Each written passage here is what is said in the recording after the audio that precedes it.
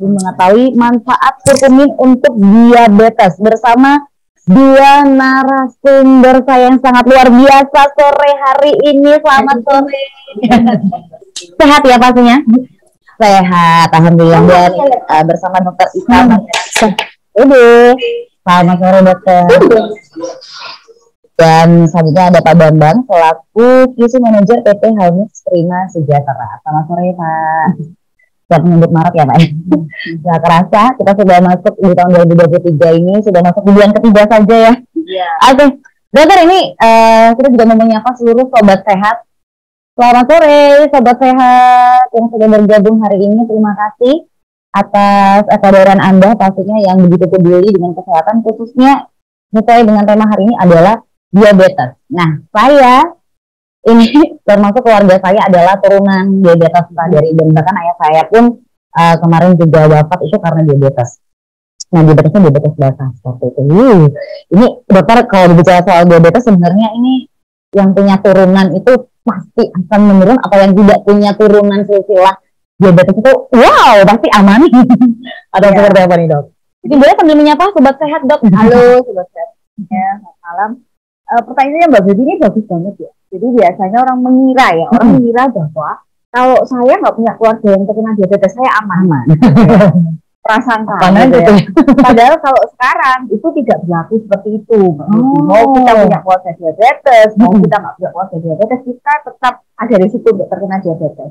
Bahkan pasien saya itu beberapa usianya masih muda ya. Yeah. Usia 15 tahun ada yang diabetes. Tapi tipe 2 loh ya, bukan tipe 1 ya karena lifestyle-nya salah. Jadi dikasih obat uh, minum dia bilangnya bisa turun, berarti kan diabetes tipe 2 kan. Jadi hanya karena lifestyle usia 15 tahun bisa hmm. Oh gitu. Orang tuanya nggak ada diabetes. iya, iya, iya, masih masih terkenang ini karena uh, soalnya uh, Baby juga melihat banyak di media sosial itu yang mungkin sharing pengalamannya dia itu ada tuh. Dia hmm. termasuk Gen Z ya berarti karena yeah. dia, dia umurnya dia kelahiran 2000-an ya dok ya. Itu dia setiap pagi karena dia jadi uh, viral atau mungkin jadi kontennya itu jadi banyak yang komen karena dia dengan umur seperti dia sudah pakai itu gitu. Oh iya. Jadi memang ada ya dok ya ternyata ya. Ada ada. Di usia yang sudah sangat muda. Uh, dan keluarganya belum tentu semua keluarga itu menderita diabetes. Ya tergantung lifestyle-nya ya. Mungkin karena sekarang tuh kan yang namanya fast food itu gampang banget. Tinggal pencet-pencet jadi tidak makanan gitu kan. Oh, Uh, banyak yang menghalangi kita untuk minum air, air mineral ya dok ya. Iya. Karena di mana kopi, uh. yang manis-manis, ice cream cuma ada di mana-mana ya yeah. kan. Jadinya uh, godaan di sini ya. godaannya itu memang terutama juga mungkin yang uh, generasi sekarang ini kan banyak sekali ya yang makanannya itu sudah hmm. beda ya. Apalagi juga sekarang benar tadi udah kayak yeah. gampang untuk uh, pencet-pencet bintang ini pakai ya, kalau dulu kan malam lapar nggak bisa makan ditahan ya iya tidur aja ya tidur aja jangan lupa malam lapar oh iya iya iya Uh, dan itu memang ada bagian itu kalau seperti itu kalau sudah hmm. sudah karena kalau maksudnya dari diabetes satu dua itu seperti apa tuh dok? Bedanya satu dua iya. Uh, jadi kalau diabetes tipe satu itu biasanya pada anak-anak. Jadi karena kerusakan daripada pankreas, bukan karena lifestyle-nya ya, tapi karena memang mereka pada saat akhir pankreasnya sudah rusak. Nah, untuk yang diabetes tipe 1 ini benar-benar tergantung pada insulin. Yang tipe 1. Kalau yang tipe 2 itu bisa diberikan obat biasanya karena lifestyle. Jadi karena pola hidup kita yang salah gitu ya. Biasanya problemnya tidak melulu pada pankreasnya tapi pada reseptor insulinnya. Reseptor itu seperti pintu ya. Pintu untuk menerima gulanya itu yang bermasalah karena lifestyle-nya salah. Nah, itu bedanya. Tipe 1 sama tipe 2. Oh, itu dia. Nanti kita akan tanya lagi sepertinya uh, penanganannya juga seperti apa gitu kan. Dan ini langsung ngobrol tanya sama Pak Bambang. Pak Bambang, Pak, ini sesuai dengan tema hari ini yaitu uh, manfaat tentang kurkumin. Sebenarnya manfaat kurkumin ini apa sih Pak? Kita itu masih masih uh, masih awam ya soal untuk edukasi tentang kurkumin sendiri. Silakan. Uh, kurkumin itu sebetulnya salah satu mungkin zaman nenek moyang kita zaman nenek moyang kita itu kita tahu bahwa hampir semua ya anak-anak kita kalau sakit itu biasanya dijamuni temulawak oh, kan? iya, benar. sakit apa pun demam dijamuni temulawak mereka belum tahu di dalam temulawak itu apa sih yang paling berfungsi untuk mengatasi itu ya setelah diteliti ternyata ada satu bahan aktif yang ada di dalam temulawak itu yang namanya kurkumin. Hmm. Nah, itu yang sangat bermanfaat terutama untuk liver, bisa untuk menurunkan kadar kolesterol, bisa untuk diabetes. Jadi sangat besar manfaat dari temulawak.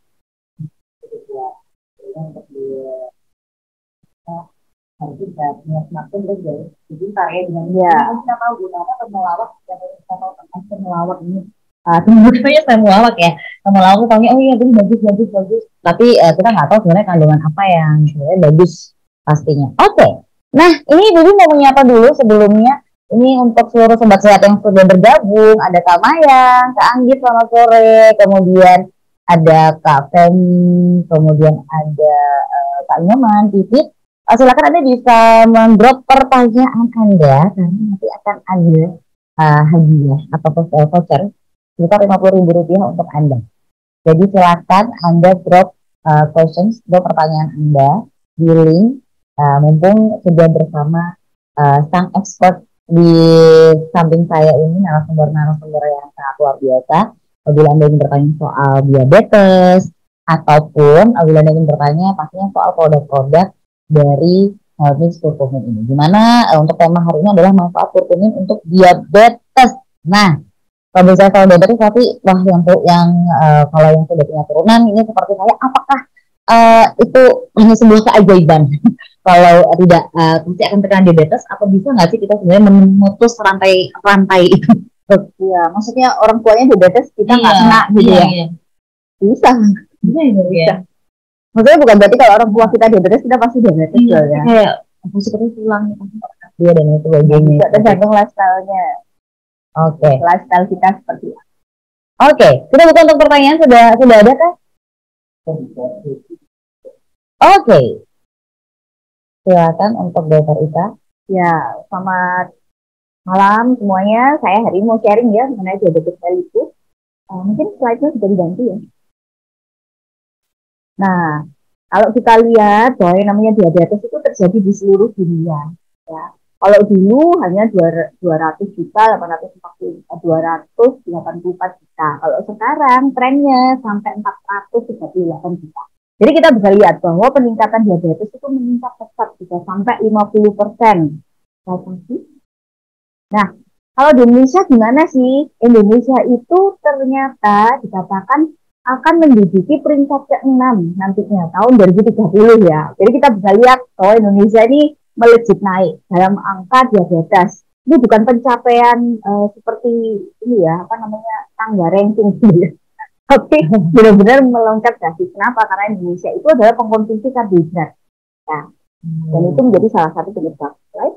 Nah, diabetes mellitus itu sendiri apa sih? Jadi intinya adalah suatu kencing manis di mana kadar gulanya itu nggak bisa masuk ke dalam sel. Itu adalah pengertian daripada diabetes mellitus masalahnya ada dua. Yang pertama problem di pankreas, yang satu lagi problem di pintunya untuk menerima gula. Untuk tipe-tipenya sendiri, ya teman-teman bisa lihat di sini ada berbagai macam tipe. Yang paling banyak memang tipe 2 ya. Tapi tipe 1 juga bisa ditemui diabetes dalam kehamilan dan diabetes tipe lain. Nanti saya akan sharing mengenai terutama diabetes tipe 2. Untuk yang diabetes dalam kehamilan ini menjadi catatan buat ibu-ibu di sini yang mungkin belum punya anak pada saat hamil jangan sampai makannya tidak terkontrol. Kenapa? Itu bisa mengakibatkan diabetes dalam kehamilan. Kenapa? Karena pada saat kita hamil itu ada perubahan hormonal. Ya, jadi tidak berlaku di mana katanya mitos gitu ya bahwa kalau saya hamil saya harus ini nuruti ini jamnya. Karena kalau misalnya jamnya nggak dituruti nanti bayinya ngiler gitu ya terus nyekes. Nah itu nggak benar ya. Kenapa? Angka diabetes dalam kehamilan itu semakin tinggi, terutama di zaman saat ini. Right? Nah, gejalanya apa sih? Kita semua sudah tahu ya, teman-teman. Kalau misalnya diabetes itu pasti uh, apa namanya banyak banyak makan, cepat lapar, cepat haus, berat badannya turun. Tapi ada gejala-gejala yang lain yang anda wajib tahu. Apa itu misalnya? Pada wanita sering keputihan nggak sembuh-sembuh. Nah, kita harus waspada, kok keputihanku ini sudah berobat ke dokter nggak sembuh-sembuh ya. Jangan-jangan aku diabetes. Yang kedua, misalnya ada gatal-gatal ya yang tidak sembuh-sembuh.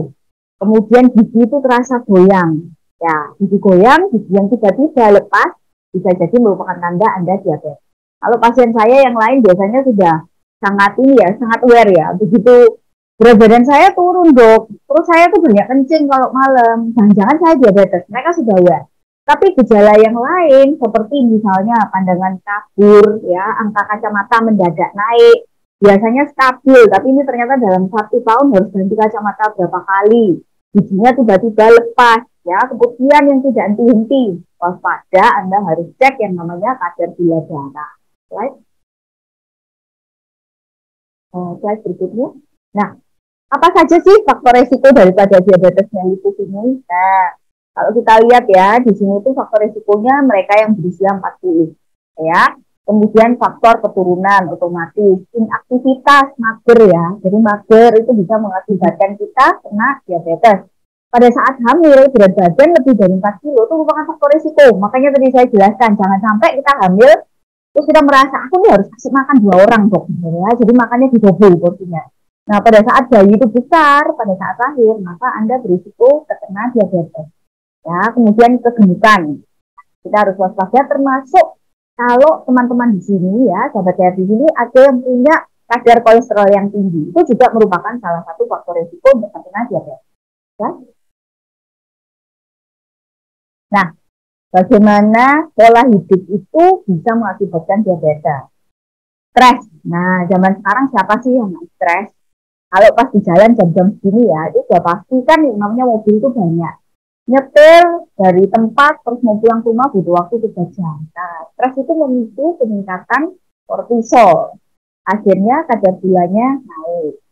Anda yang merokok, merokok itu merusak yang namanya pembuluh darah, sehingga berisiko untuk terkena yang namanya diabetes. Mereka yang mengkonsumsi minuman alkohol dan bersoda, mereka yang kurang istirahat dan yang banyak makan gorengan. Kalau kita perhatikan ya, yang namanya lifestyle ini mulai dari kurang tidur, kemudian stres, kemudian merokok, banyak minuman bersoda, ya itu lifestyle zaman now. Ya, zaman now. Siapa sih yang kalau misalnya pergi ke mana-mana terus minumannya nggak soda? Kalau zaman dulu nggak ada. Kalau dulu pilihannya cuma air putih. Bahkan mungkin dulu nggak ada teh ya. oh, mungkin dulu juga nggak ada teh ya, cuma air putih orang ke mana-mana dulu naik sepeda, ya kan? Udaranya masih fresh, nggak ada kerjaan malam nggak nonton drakor tidur pasti. Kalau sekarang kurang tidur dikejar deadline, terus stres, ya, gitu ya, nonton drakor ya, Netflix, Netflix ya, terus nonton Netflix sampai sampai jam tiga paginya oh, sudah iya. Kalau nggak denger itu aja baru baru tahu kalau oh, jamnya, iya. kalau nggak denger tuh baru tahu itu alarm. Ternyata nggak bisa juga mengalami ya itu bukan salah satu faktor resiko. Kita belum bisa loh, jadi kok sudah di saya ya. Nah, okay. jadi ini semua adalah pola hidup zaman sekarang yang sebetulnya merupakan faktor risiko kita untuk terkena diabetes. Saya komplikasinya apa? Nah, saya biasanya ngajarkannya uh, secara simpel ya buat teman-teman supaya gampang untuk memahami. Yang namanya komplikasi diabetes itu head to toe, dari atas sampai bawah. Jadi nggak usah tanya lagi, dok nanti saya kena ginjal dan sebagainya. Semuanya kena atas sampai kepala gitu ya. Jadi misalnya dari kepala, dari kepala akan terjadi apa? Bisa terjadi stroke. Turun lagi, misalnya ke mata. Ke mata bisa terjadi apa? Kebutaan. Bisa terjadi glaukom. Bisa terjadi katarak. Kemudian saraf mata rusak. Ya. Pada kulit wajah, orang yang diabetesnya tinggi, itu dijamin kulitnya pasti nggak fresh. Jadi kelihatan cepat tua Kemudian pada yang namanya sinus mudah terjadi infeksi gigi, tadi saya sudah jelaskan giginya mudah lepas. Itu itu baru kepala aja ya, rekan-rekan ya. Jadi banyak banget. Turun lagi ke daerah dada. Apa yang mungkin terjadi? Jantung, serangan jantung. Paru, infeksi paru berulang ya. Kemudian turun lagi pada liver, bisa terjadi perlemakan hati. Kemudian pada ginjal, ginjalnya rusak ya Turun lagi pada yang namanya saluran kemih. Pada wanita, infeksi saluran kencing nggak sembuh-sembuh. Keputihan nggak sembuh-sembuh.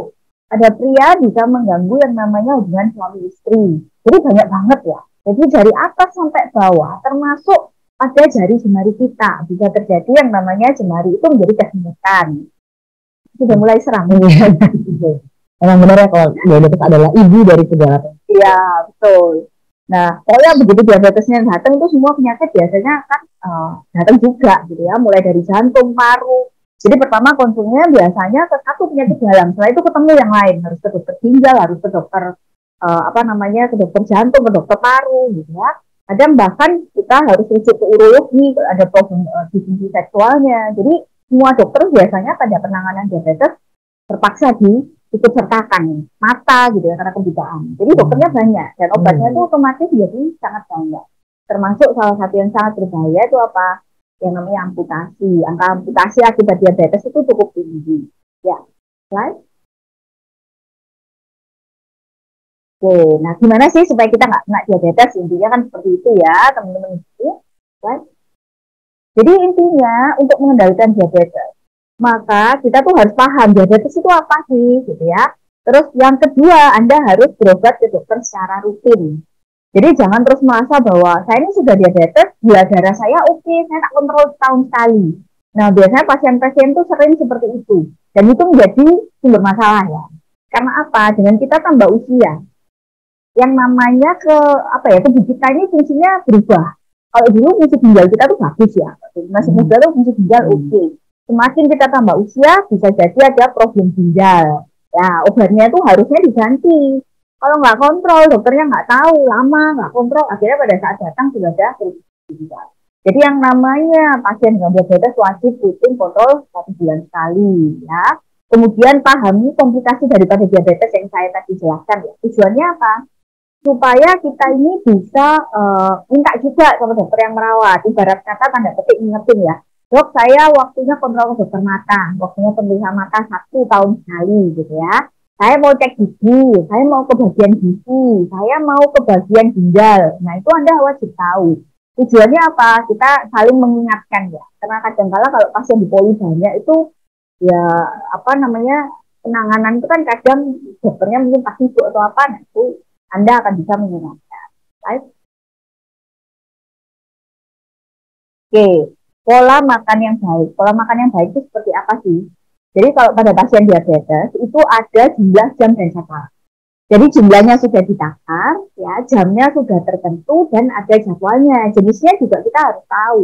Dan itu biasanya menentukan adalah ahli gizi. Jadi nggak bisa uh, kemudian setiap pasien itu dipukul rata nggak bisa. Karena ada kebutuhan yang berbeda antar setiap pasien tergantung aktivitasnya apa ya kemudian berat badannya berapa? Tentunya kalau pasiennya obesitas berat badannya tinggi ya itu harus diturunkan.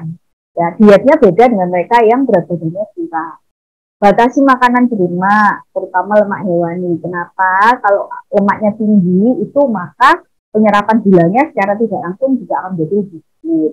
Hindari makanan kaya gula, jangan konsumsi alkohol supaya livernya tetap terjaga, batasi konsumsi garam. Intinya gini, terus dok itu kok banyak ya, saya harus ngafalnya gimana gitu ya. Hmm, Intinya gampang lah. Makanan kalau kita makan, semakin makanan itu simple pengolahannya ya, tidak pakai bumbu macam-macam, tuh diaman. Oh. Ya, simple gitu ya. Hmm. Makan apel baik enggak? Baik. Tapi kalau apel jadi apel strudel terus habis itu dikasih keju terus dikasih gula baik ya, ya, ya. Oh, iya. ya. ya. Makan kentang, kentang oke okay, enggak? Oke. Okay. Tapi terus kalau misalnya jadi mashed potato dikasih keju dikasih ya. apa? Jadi mayonnaise itu enggak iya, baik. Iya, iya. iya benar. Ada cara paling gampang dimakan enak taruh kalau makanan itu iya. rasanya cukup plain gitu ya, Anda bisa mengkonsumsi itu dengan cukup aman. Intinya kayak gitu ya. Tapi kalau sudah gurih-gurih itu jangan terlalu banyak. Jangan terlalu keinginan Anda ya, sobat. Uh, kebutuhan. Ya, kebutuhan bukan keinginan. Terus nggak boleh makan manis dok. Um, intinya kita boleh makan, tapi batasi. Jadi kalau misalnya sekarang harus musim durian ya. Tuh, durian boleh nggak boleh jangan di tempat oh, gitu. Jadi biasanya kalau semakin dilarang tuh semakin manggil-manggil. Jadi boleh nggak boleh, tapi batasi. Nah, kemudian berikutnya kita tuh harus berolahraga. Olahraga nggak usah yang terobsesi seperti aku harus lari maraton. Sekarang kan lagi musim ya, orang-orang lari semua. Hmm. Terus naik sepeda gitu, yeah. sampai naik ke gunung nggak usah itu juga gitu ya. Iya, iya. Cukup olahraga ringan selama 30 menit 30 menit aja ringan jalan kaki. Ya pokoknya kita mengaktifasi badan kita. Ya. Kalau misalnya lagi di kantor nih ya, usahakan jangan jangan naik lift, jalan kaki. Ya. Hmm. Kalau misalnya di situ naik naik naik yeah, atas naik ke iya, iya, Kemudian iya kalau bisa ya apa namanya segala macam alat yang membantu kita untuk bergerak ya dihentikan daripada kita ya. terus milih naik mobil kalau bisa ya sepeda hmm. ya kalau bisa tapi kan hmm. panas ya Pilih kegiatan yang diminati dan sesuai kemampuan. Olahraga itu adalah olahraga yang penting konsisten, ya, ya. bukan modelnya, bukan iya, gayanya. Benar langsung wah kabebang langsung, naik naik tapi ya, hari, hari ini olahraga iya. sudah dok seminggu sekali lah. Oh iya. Tuh udah cuman bulan itu aja gitu bulan depan udah nggak kita dibuat putih set gitu. Iya. olahraga iya. Konsistennya memang ya betul. Konsisten itu adalah hal paling sulit ya. Padahal kalau pada pengelolaan gula maka kita harus berolahraga secara konsisten. Nah khusus untuk tipe olahraga. Tidak semua pasien diabetes itu diizinkan untuk berolahraga ya. Hmm. Jadi kalau gulanya tinggi di atas 300 nggak boleh olahraga. Ya, Anda harus turunkan gula dulu, konsultasi dulu sama dokternya. Gulanya turun di bawah 200 baru bisa berolahraga. Karena kalau gula terlalu tinggi, berolahraga malah mencetuskan laktik asidosis, tambah bahaya. Malah mencetuskan kadang stroke gitu ya. Terus kadang malah bisa ada problem pada jantungnya dan sebagainya. Kita harus, betul, kita harus konsultasi. Apalagi kalau diabetes itu dengan uh, penyulit. Contohnya, sudah ada kesemutan nih. Terus naik sepeda dong sampai gunung. Pulang lecet bukanya tidak sembuh. Ya, hmm. maunya untuk sehat tapi ternyata menjadi masalah. Hmm. Nah itu anda wajib tahu sebaiknya konsultasikan pada dokter yang merawat. Ya berikutnya. Ya, kita sudah tahu ya, pokoknya patuhi minum obat. Dosisnya jangan diganti-ganti sendiri. Jangan pinjam resep obatnya tetangga, jangan ditiru-tiru, karena banyak pasien yang seperti itu ya. Tetangga saya pakai obat ini dok, saya minum gitu ternyata efeknya tuh sama double gitu ya akhirnya darahnya full intinya adalah jangan lupa kontrol ke dokter ya konsultasikan untuk setiap perubahan baik pola makan maupun obat yang anda mau gunakan. Tanyakan dulu. Misalnya dok saya mau puasa nih penggunaan obatnya harus seperti apa? Itu kita oh. harus bilang dok saya mau diet rendah karbo. Saya mau makan beras merah obatnya seperti apa? Pengaturan itu kita harus konsultasikan ya. Ya Nah, ini jangan lupa di rumah harus dibuat chart. Jadi kita harus punya rekaman di rumah itu seperti apa sih gulanya supaya hasilnya kita bisa lapor bulan depannya supaya bisa mengatur gula darah lebih optimal. Lihat lagi.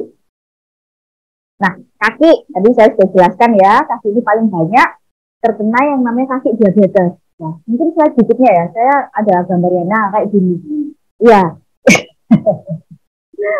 Agak-agak gambarnya mungkin mohon maaf ya sangat nggak enak juga. Tapi ini perlu kita tahu ya. Karena apa? Karena sebetulnya kenyataannya ya kalau diabetes nggak diobati dengan baik ya jadinya seperti ini. Yang sebelah kiri itu sebetulnya dari kapalan ya. Yuk kita lihat itu dari kapalan biasa. Siapa yang mata ikan. Ya, mata ikan ya. Jadi kelihatannya seperti itu lama-lama karena diabetes akan bisa mengakibatkan kerusakan pada kaki sampai berlubang yang kanan tuh juga ya, karena pembuluh darahnya mati, akhirnya kulitnya seperti itu. Jadi jangan lupa pada saat setiap kali Anda mandi, cek kakinya.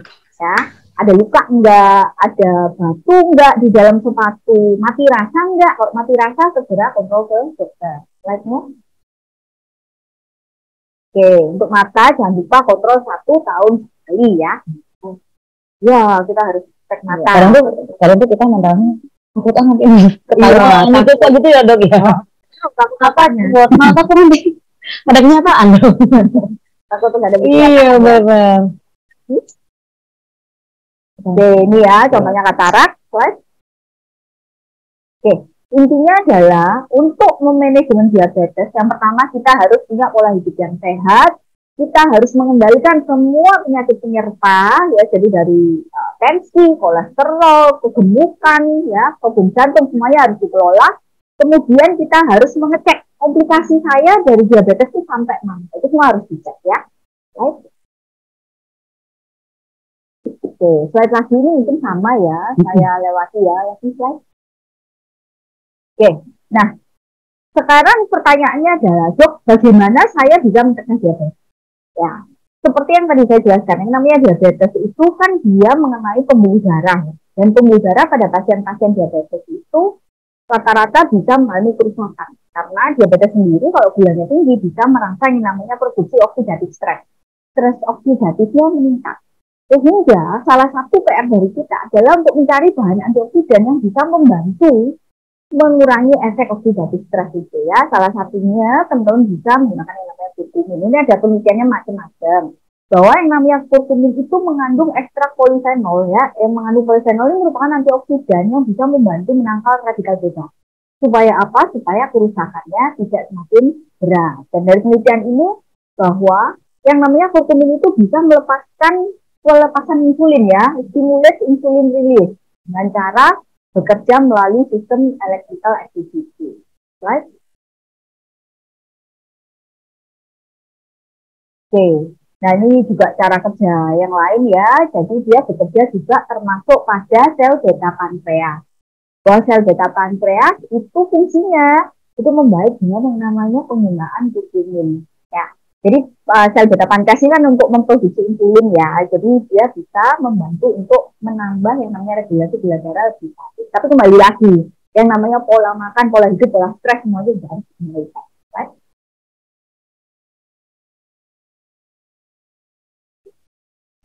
Nah ini juga ya bahwa yang namanya vitamin itu bisa memperbaiki dan mengurangi problem pada ginjal dan juga liver. Jadi yang namanya pasien diabetes itu termasuk salah satu komplikasinya itu apa? Perlemakan hati. Ya. Nah untuk pasien-pasien perlemakan hati, seperti yang namanya kurkumin ini bisa membantu untuk melindungi uh, liver terhadap kerusakan lebih lanjut. Khusus untuk pasien ginjal, sebaiknya konsultasikan pada dokter yang merawat ya. Karena kalau untuk pasien-pasien ginjal, terutama dengan yang namanya susu darah, kreatinnya tambah tinggi, itu semua yang dikonsumsi harus konsultasikan pada dokter. Ya. Tetapi dari penelitian menunjukkan bahwa yang namanya kucing ini membantu mengatasi problem pasien. Right?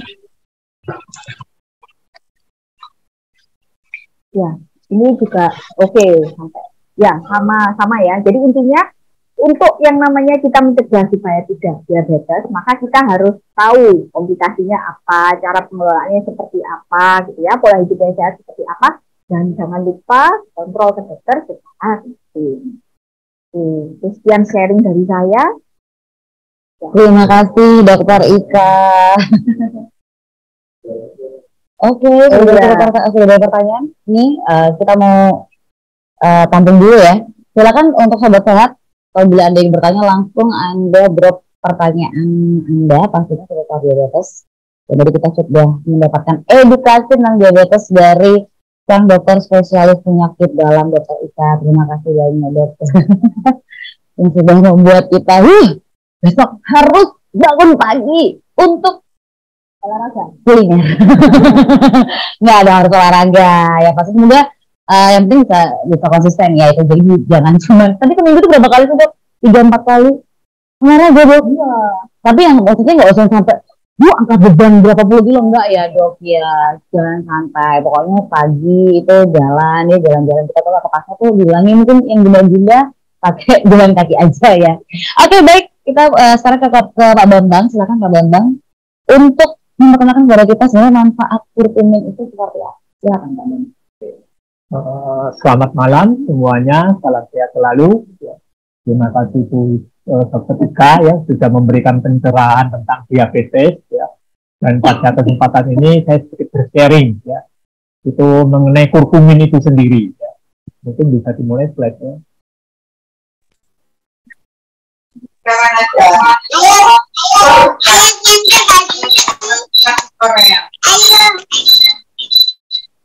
Sangat tembus.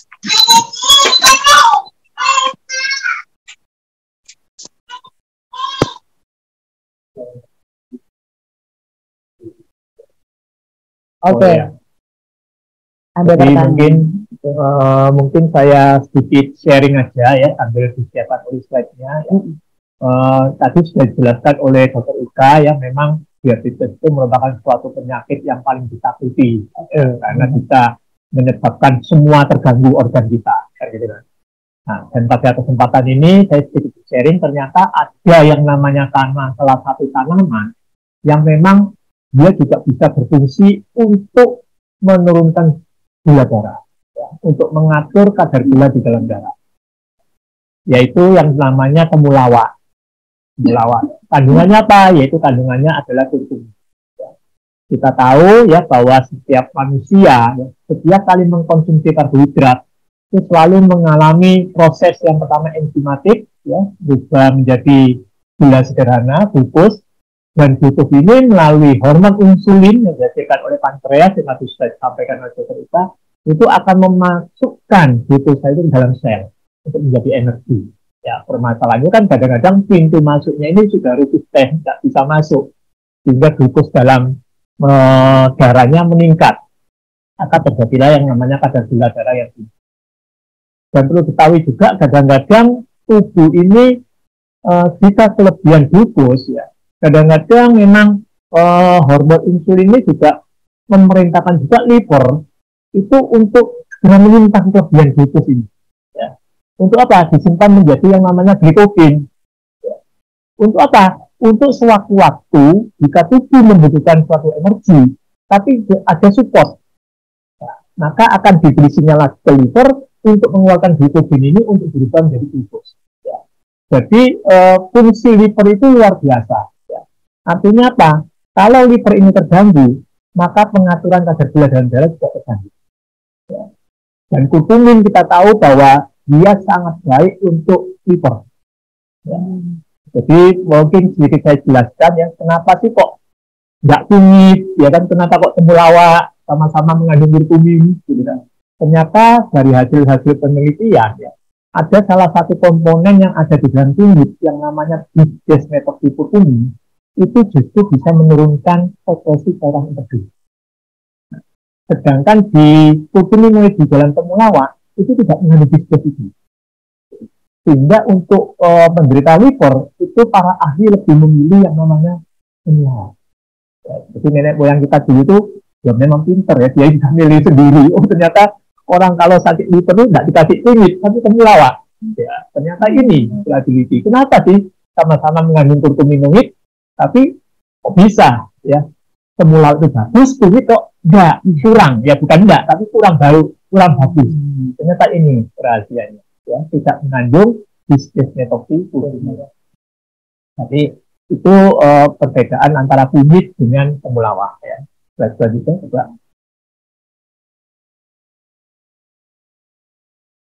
Nah ini ya kita tahu bahwa kurkuminoid itu yang ada dalam temulawak itu tidak larut dalam air. Ya.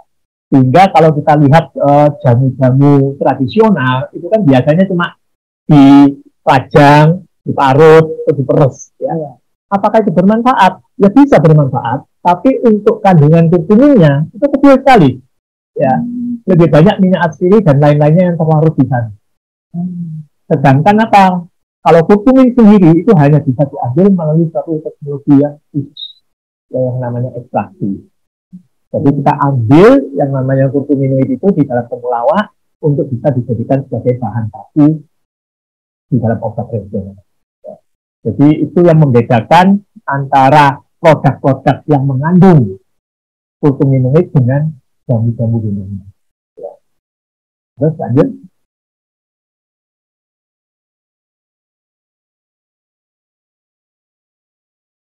Nah, ini kita tahu fungsinya ya.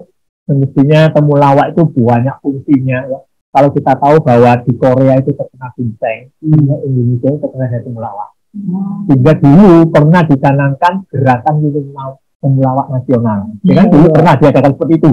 Cuma hmm. sekarang sudah tidak berjalan. Saya tidak tahu. Karena dulu dari tiap hotel yang minum minum itu temulawak. Temulawak ya. Betul. Karena apa? Karena hmm. bangsa Indonesia mengetahui bahwa ini aset bangsa. Okay. Ya kan? Dan manfaatnya sangat banyak. Ya. Ini kalau kita lihat di jurnal-jurnal itu ya seperti ini ya bisa untuk jantung, bisa untuk diabetes, bisa untuk imun, bisa untuk inflamasi, antioksidan, anti kanker, semua ya dengan cara kerja yang positif. Ya. Tapi yang lebih utama lagi adalah kurkumin itu untuk liver, antioksidan, anti inflamasi. Ya, jadi dokter katakan bahwa orang diabetes itu pembuluh darahnya ya kan terkena stres oksidatif. Ya. Karena apa? Radikal bebas tadi. Ya. Kan? Dan kurkumin itu efek antioksidannya itu sangat tinggi. Hmm. Jadi dia bisa menangkap radikal yang bisa merusak sel. Jadi perokok pun bisa ya, sosok dalam tubuh menghasilkan radikalitas yang ditangkap oleh tubuh ini. Ya. Terus lanjut. Ya ini studi ya jurnal yang ada ya saya kira juga sudah sama dengan tadi yang sampaikan dari cerita lanjut ya sekarang ini masalah produk. Ya.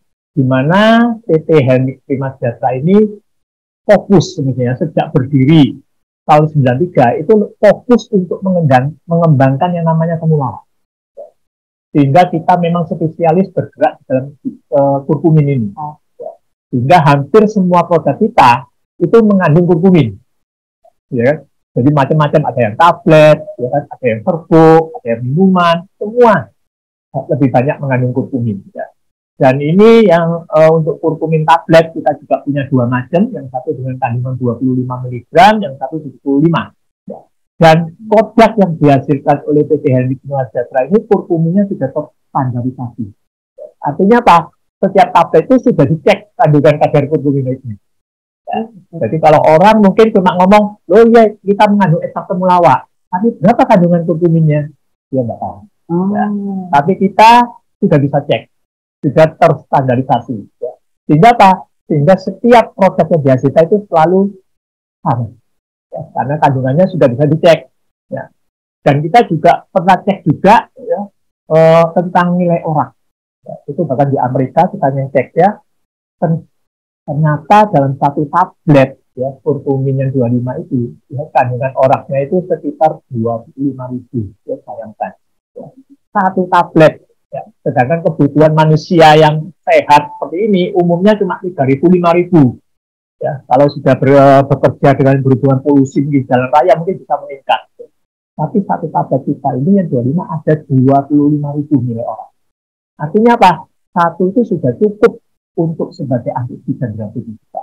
Ya. Makanya banyak penelitian bahwa kurkumin itu juga bisa sebagai uh, pemadaan kulit. Bagus juga ya kan? Karena itu tadi efek antioksidannya yang sangat tinggi.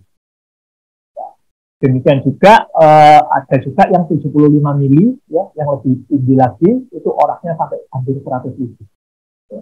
Ini saya coba membandingkan dengan uh, bahan lain, makanan lain ya. Kita lihat itu yang kurkumin 75 ya kandungannya begitu luar biasa hampir 100 ribuan sedangkan yang kurkumin KPN 25 sekitar 25 ribu dan dark coklat ya. Coklat ini dalam 100 gram. Hanya sekitar 20 ribu. 100 gram. Dengan tablet kita satu biji itu cuma 250 miligram. Ya, itu sudah bisa mengalami 100 gram coklat dan kacang ikan ya. jadi begitu luar biasanya produk ini ya memang masyarakat Indonesia ini uh, terhadap tumbuhan itu memang kurang begitu tertarik maunya itu yang plong gitu yeah. kan, yang langsung terasa. Ya. Yeah. Sedangkan untuk obat-obat tradisional ini kan biasanya kerjanya ini ya slow, tapi oh. pasti. Yeah. Dan, dan efek sampingnya juga tidak ada ya. Produk kita ini sudah juga dicek uji toksisitasnya juga, ya. baik akut maupun yang subkronis dan juga oke okay, memenuhi syarat. Jadi tidak usah takut kalau minum ini setiap hari. Ya, oh. Karena sudah diuji toksisitas. Usah takut itu. Jadi sehari berapa kali tuh? Pak Bambang? Dua sampai tiga. Dua sampai tiga kali. Hmm. Jadi kita tidak usah takut, oh nanti saya kalau minum ini terus-terusan gimana, ya kan? Yeah. Kita sudah uji kita. Jadi uh, memang sangat-sangat bermanfaat ya. Karena gini, kalau kita berbicara masalah liver, ya, liver ini kalau tidak rusak parah, kadang-kadang manusia, uh, eh, manusia ini nggak nyadari kalau livernya ini rusak. Tiba-tiba, waduh kok seperti ini, yeah. periksa, bu livernya rusak. Oh terjadi perlemakan, oh terjadi segala macam. Makanya yang perlunya maintain preventif, sering-sering minum dulu. Ya. Kalau bisa mencegah, kenapa harus mengobati? Iya. Ya. Jadi okay. mungkin itu sekilas dari saya untuk memperkenalkan kurkumin, ya kan? Ya ini bisa bermanfaat bagi kita. Sangat-sangat bermanfaat Pak Bambang. Terima kasih. Terima kasih Pak Bambang. Baik, ini kita beralih ke uh, sobat sehat yang sudah melempar pertanyaan. Nah, ini dari Diah Ayu untuk dokter ya. Dok, saya ada pertanyaan Silakan. Kebetulan kakek ipar saya ini ada keturunan diabetes. Dan hingga saat ini beliau sangat menjaga pola makan hingga menghindari karbo dan sebagainya. Lalu saya pernah mengajak mengkonsumsi Helmix tablet Forte 25 mg. Tapi beliau takut meningkat, meningkatkan nafsu makan. Gimana ya dok?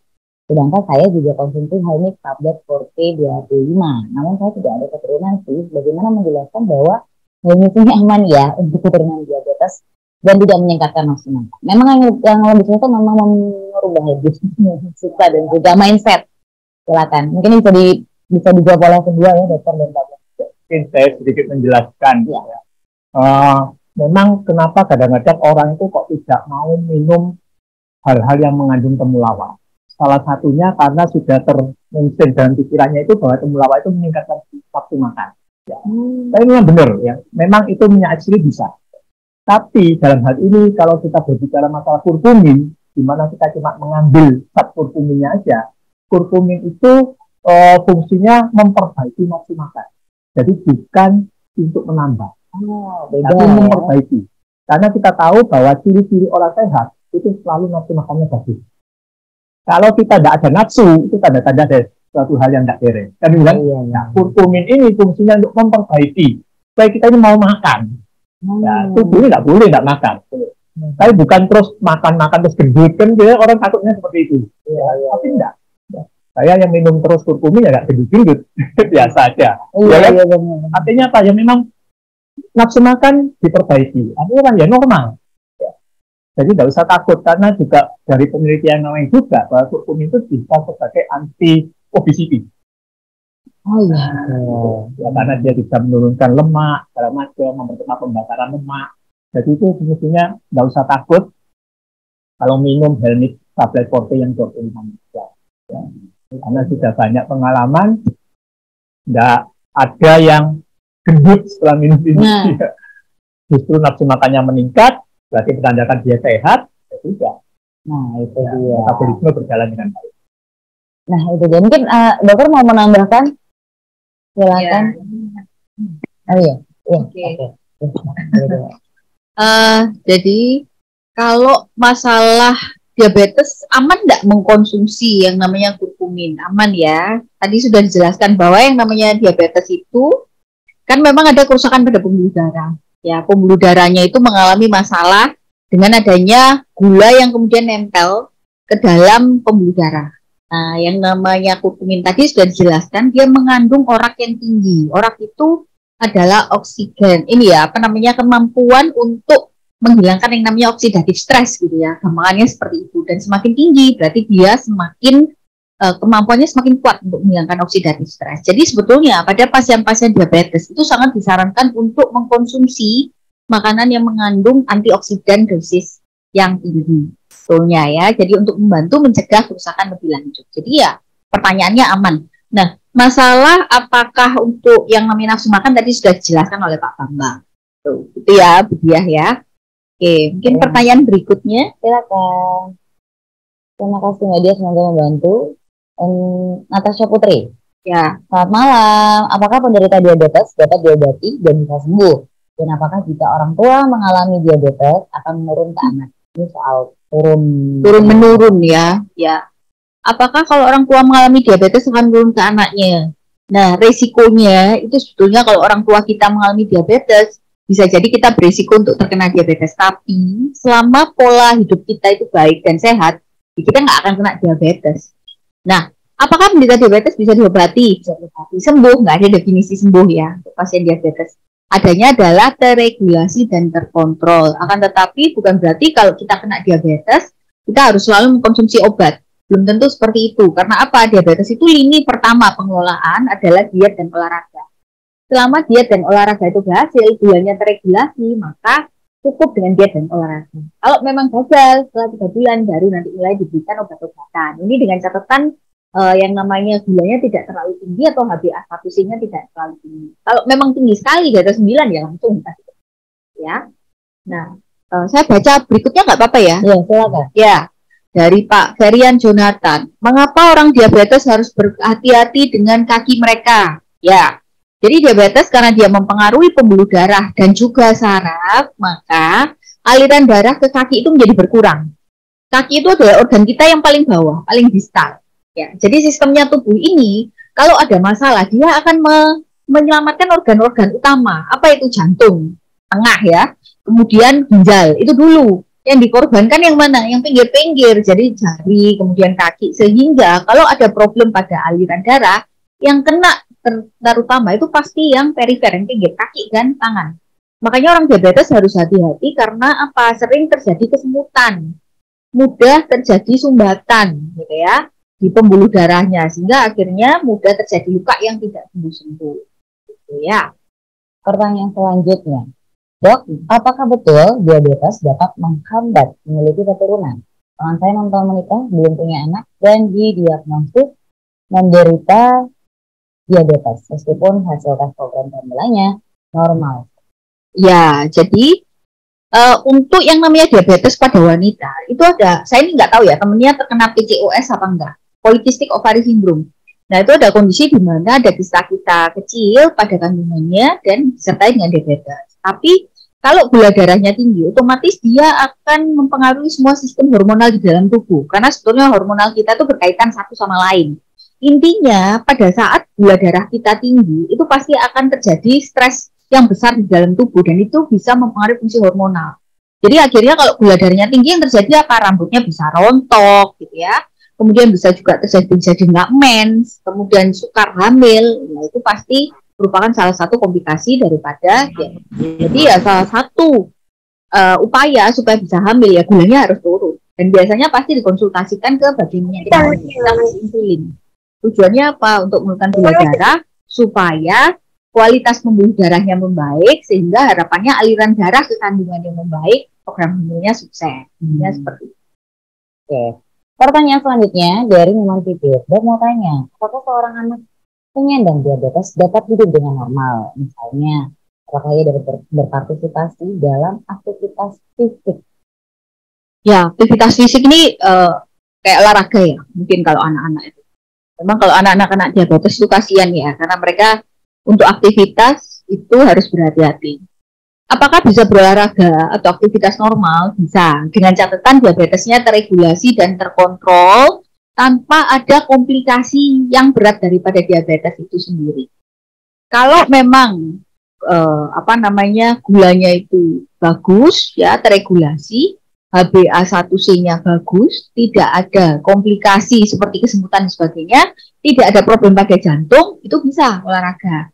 Sebaiknya dikonsultasikan dulu pada dokter penyakit dalam ya atau dokter bagian okupasi. Okupasi itu bagian untuk menilai dan mengakses kira-kira satu pasien itu bisa bekerja apa enggak, berolahraga apa enggak. Ya. Nah, dari sana kita bisa evaluasi untuk anak ini aktivitas fisik apa yang aman. Contoh, aktivitas fisik berenang pada diabetes itu lebih aman loh daripada aktivitas fisik yang bareng-bareng dalam grup yang misalnya basket. Ya, kan karena e, resiko untuk tabrakannya lebih gede ya. Nah, itu bisa berisiko, berisiko untuk luka. Contohnya seperti itu. Aktivitas fisik lainnya apa? Misalnya dia main basket sendiri. Nah, itu kita bisa sarankan. Tapi evaluasinya pasiennya harus dibawa, nanti kita cek semua komplikasinya, baru kita bisa memutuskan aktivitas fisik aman sebatas ini. Ya. Oke, okay. Lagi pertanyaan dari uh, sobat sehat. Terima kasih. Uh, nanti akan dihubungi ke seputar vouchernya. Dan masih ada waktu ini uh, dok dan juga Pak Bambang. Nah mungkin dari Pak Bambang bisa menjelaskan kita, uh, tadi kan kita sudah paham ya terus sudah teredukasi soal manfaat dari kurkumin ya. Saya warga Indonesia ini masih minim sekali edukasi soal kurkumin dan alhamdulillah sekarang sudah mengetahui. Nah ini untuk produk ini kan banyak sekali. Bedanya apa? Itu dia dengan 25 gram apa sih bedanya gitu? Silakan. Oh, iya.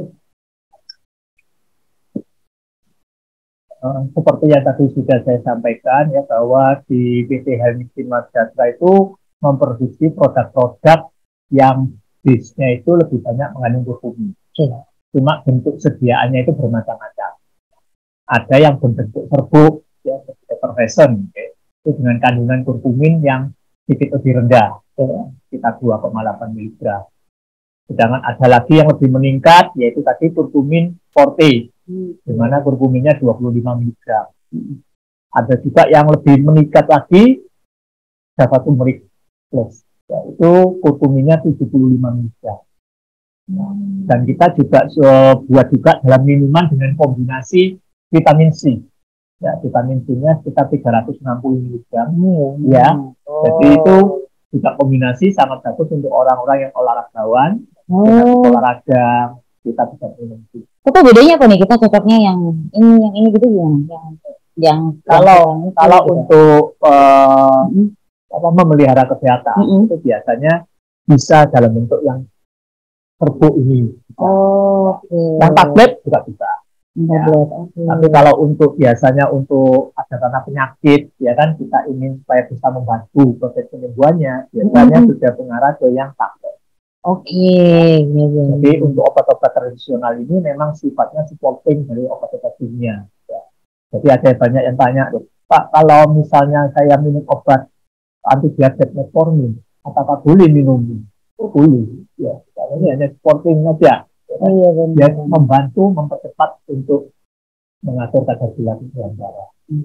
Nah, gitu kan untuk eh, Mbak Lydia tadi pertanyaan yang pertama ingat kalau kata melawat itu bukan menambah nafsu makan ya, melainkan memperbaiki lihat apa bapak tetap stabil pastinya untuk berat badan dan Dewi kembali mengingatkan kepada eh, sobat sehat jangan lupa nanti setelah eh, di akhir webinar ini eh, jangan buru-buru tutup tapi yang pastinya jangan lupa untuk mengisi daftar eh, dengan drop link ya. Jadi jangan lupa registrasi terlebih dahulu karena nanti akan ada undian yang akan langsung dihubungi oleh eh, tim untuk eh, produk ya, yakni untuk tiga pemenang. Jadi jangan sampai lupa untuk mengisi registrasi atau mengisi daftar Anda ya. Jadi ada hadiah yang pasti sudah dimenangkan oleh Anda. Siapa tahu beruntung. Nah, jadi kita masih ada waktu pastinya untuk dari dokter spesialis dalam mungkin ada yang eh, harus diingatkan kembali untuk kita dari yang kita belum belum uh, belum terkenal, mau yang tidak ada turunan, sampai yang mungkin sekarang sedang survive pastinya.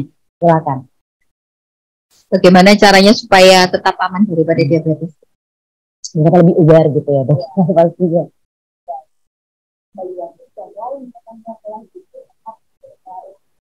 Tapi eh, pada saat kita tidak aware dan tidak kita akan menjadi less dalam Nah, kemudian yang menjadi perhatian juga adalah ini kalau masalahnya tidak ada pada orang dewasa ya. Iya. Anak itu sekolah berapa sih dia yang bisa yang paling termuda yang pernah dokter? Dan ya, Oke. jadi itu sangat menjadi perhatian. Karena buat orang-orang kita, ada orang-orang tua membantu menjelaskan pada anak kita. Ya, makan tuh Iya. Iya, iya benar benar. Iya kita. Iya benar benar.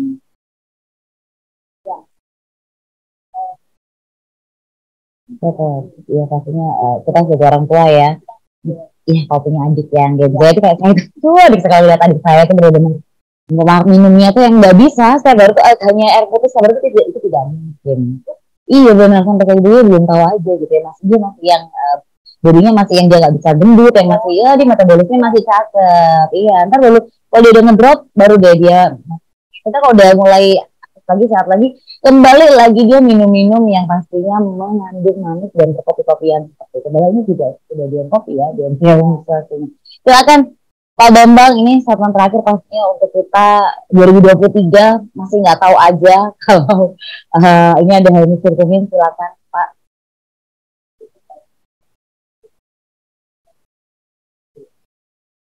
Hmm.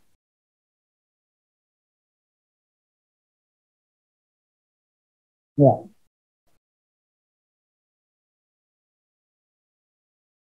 Oh iya. Oh iya.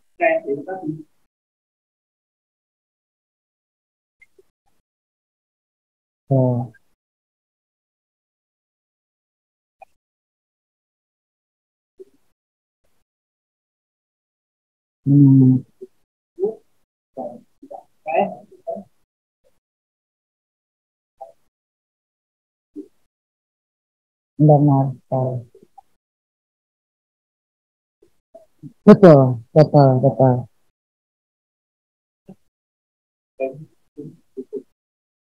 Betul sekali. Apalah arti kita selalu bekerja, pastinya bekerja setiap hari, banting tulang dari pagi sampai malam. Kita kalau kita nggak bisa menikmatinya karena sakit, terutama diabetes adalah ibu dari penyakit. Dan semoga kita semua sadar bahwa uh, bahwa pengelola sendiri ini banyak sekali manfaatnya dan kita tidak perlu sampai cari-cari ibu jamu atau sampai memeras sendiri. Karena kalau kita bisa mendapatkannya di begitu mudah di sekeliling kita, jadi Anda bisa pastinya setiap hari. Tidak perlu khawatir uh, untuk mengkonsumsi helmi kurkumin ini dan banyak variasinya juga disesuaikan juga dengan uh, tubuh Anda juga sesuai dengan kebutuhan Anda. Dan rasa-rasa ataupun cara minumnya juga dari tablet mau yang langsung diminum ataupun yang ini ya Pak ya tubuh ya Pak ya. Itu dia jadi oh ada lagi pertanyaan ternyata sebelum kita tutup. Terima kasih Pak Iwan. Selamat malam. Selamat malam Pak Iwan. Silakan. Pertanyaan karena juga masih ada waktu lima menit. Silakan Pak Iwan. Selamat malam, kita mungkin bisa tunggu pertanyaannya. Oke, okay, mohon izin bertanya, silakan. Saya sebelumnya minum tablet kurkumin 25 sehari satu kali. Dan lancar-lancar saja. Terus saya mencoba minum dua kali sehari, tapi ada efek seperti perut kembung dan pernah kepala jadi geli. Waduh, bapak ini dari Belanda ya pak ya? Lagi jingkrik, ke, uh, oke kepalanya uh, ini agak-agak pusing. Itu kenapa ya dok? Dan juga mungkin uh, Pak Bambang juga bisa dua-duanya bisa terjawab. Silakan dari Pak Bambang dulu atau Dokter silakan. Ya, uh, selamat malam Pak Iwan. Mungkin saya sedikit akan membantu menjawab ya. Pada intinya semestinya kurkumin itu tidak mempengaruhi perut kembung dan sakit kepala gliem. Ya. Jadi uh, kemungkinan ini bisa faktor lain. Ya. Faktor lain. Dan pada waktu minum kurkumin yang dua kali itu mungkin ada hal-hal lain yang bisa menyebabkan perut kembung dan geliang ya. Karena secara teori sebenarnya kurkumin itu tidak bisa menyebabkan seperti itu. Ya. Jadi ini hanya mungkin uh, carilah penyebabnya kira-kira apa. Diingat-ingat ya kan? Mungkin setelah minum dua kali itu mungkin makan sesuatu yang tidak disadari ya itu bisa menyebabkan perut kembung dan kepala geliang ya. ya tadi ya. Mungkin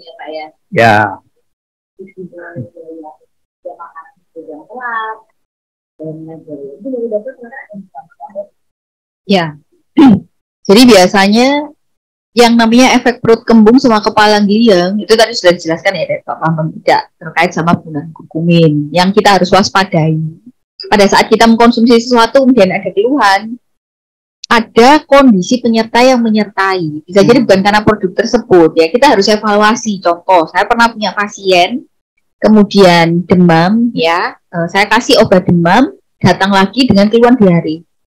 Terus katanya obat demam mengakibatkan diare. Sebenarnya nggak berhubungan sama sekali gitu ya. Itu terjadi karena proses infeksinya. Nah, bisa jadi pada Pak Iwan itu ada kondisi lain yang menyertai bukan karena penggunaan satu produk. Jadi kita harus lihat apa di dalam sehari itu makannya baik, ada makan pedas apa enggak, kemudian makannya terlambat apa enggak, sebelumnya tidurnya cukup apa enggak gitu ya. Bisa oh, jadi iya. itu misalnya karena vertigo atau oh. pakai obat darah tinggi, kemudian obat darah tingginya itu dosisnya naik, itu juga bisa ngilir. Jadi banyak possibility-nya, tapi yang jelas bukan karena kurkuminnya gitu, Pak Iwan ya. Semoga membantu Pak Iwan pastinya. Terima kasih, terima kasih banyak Pak Iwan. Dan tak terasa sudah satu jam, terima kasih dok, terima kasih Sama-sama.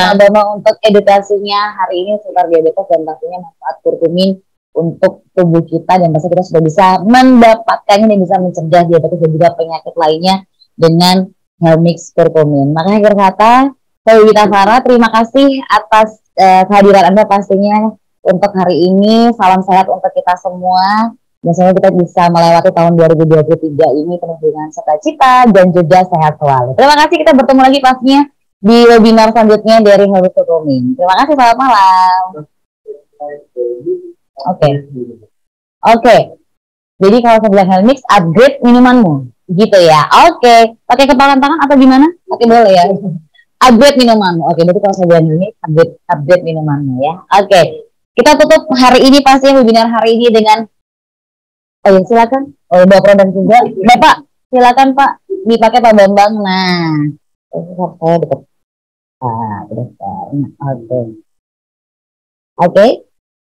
Tiga, dua, satu. Helmix. Upgrade okay. minumanmu. Karena masih gak dibersih tadi Pak. Kita ulangi lagi ya. Kita ulangi lagi ya. Oke, tiga dua satu. Helmix, upgrade minumanmu. Terima kasih, selamat malam, sampai bertemu lagi. Wassalamualaikum warahmatullahi wabarakatuh.